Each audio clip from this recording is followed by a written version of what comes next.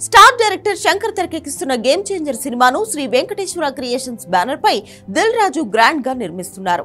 రామ్ చరణ్ సరసన కియారా అద్వానీ అంజలి హీరోయిన్లుగా నటిస్తున్నారు.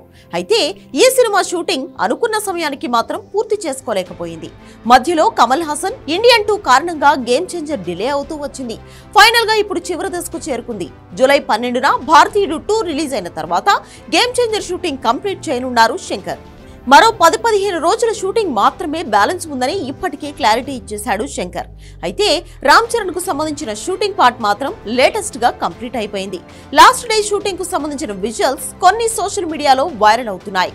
దీంతో గేమ్ చేంజర్కు రామ్ చరణ్ ఇక గుడ్ బై చెప్పేసినట్లేనని చెప్పాలి. ఈ విషయంలో అమ్మయ్య అని ఊపిరి పీల్చుకుంటున్నారు మెగా ఫ్యాన్స్. ఎందుకంటే గత మూడేళ్ళుగా గేమ్ చేంజర్ తోనే లాక్ అయ్యాడు చరణ్. ఇప్పుడు తన పోషన్ షూటింగ్ కంప్లీట్ అయింది అనగానే గేమ్ చేంజర్ నుంచి బయటకు వచ్చేశాడని ఫుల్ ఖుషి అవుతున్నారు అభిమానులు.